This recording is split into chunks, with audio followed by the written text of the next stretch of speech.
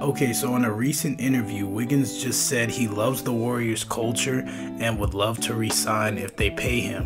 This is huge news. This means the Warriors can lock in at least one of their very talented soon to be free agents. The trade no one saw coming, Russell for Wiggins, was looking at as a mistake early on in the trade process. We all know now how much Wiggins has worked and grown as a defender, scorer, and scrapper. Last season, he literally did whatever the Warriors needed to get the wins, especially in the playoffs, and him locking down Tatum is a huge deal. Tatum, being a top 10 player in the league himself, was getting shut down one on one by Andrew Wiggins, the guy no one believed in as soon as as a season ago. Life is crazy. So today we will be evaluating his potential going into this NBA season and how we expect him to evolve his game. If you like the video, please like, comment, or subscribe for more updates on all things NBA. Without further ado, let's get into the video. Andrew Wiggins on the defensive end can guard 1 through 5. He held his opponents to under 22% from 3 last season. He was guarding the best players from each team last season and did a great job taking away the team's best options. He is a lockdown defender who has a big part in playing in the Warriors winning the championship last season. The season is if he brings the same level of intensity, I do see I don't see why they can't repeat with Wiggins being as an athletic menace that he is.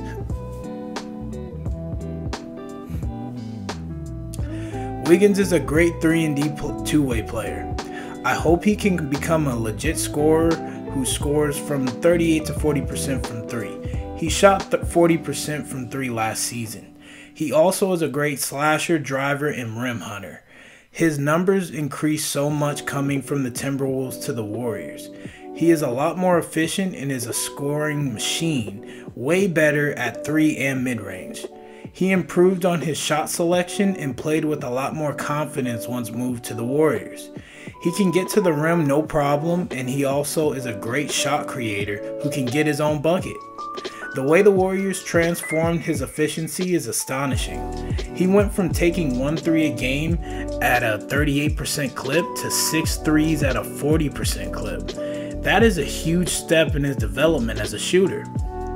His catch and shoot threes are elite, and even off the dribble, he made 157 threes last season, which is more than three times his rookie numbers in Tim, uh, Minnesota. He has turned himself into a bucket getter. Him making threes opens up his game for drives, kickouts, for his teammates, you name it. He also is very efficient and has a high IQ. Wiggins becomes efficient since joining the Warriors. His IQ has made the game so much easier with his defense getting to the rim. He has one of the highest IQs in the NBA. The Warriors should look to hold on to him. His effective field goal percentage is 55%, second to only Steph Curry with 56%. This says a lot about his IQ and his willingness to adapt to help the team win. The ability to pick your shots and guard the best defenders as the best defender is always a huge benefit to a team. His team first mindset, while still being such an elite player, is a rare quality to see. He has almost every attribute a player needs to be a great. Uh, hearing from the teammates talking about how tremendous his work ethic is shows he is going to be getting better each year. His ego, his no ego mentality is such a refreshing approach to the league. Wiggins says he wants to resign and he is willing to take a pay cut to stay with the team. This is huge news. He loves the culture of the atmosphere and his willingness to see the team grow is astonishing. I'm glad he is willing to work with the Warriors even though he is such an elite talent. To think this all came from a Minnesota trade is just wild. So excited to see his growth and what new attributes he brings to the season. Um, but what do you guys think? Leave a comment. I'd love to hear from you. Have a great day, y'all. DGSO out.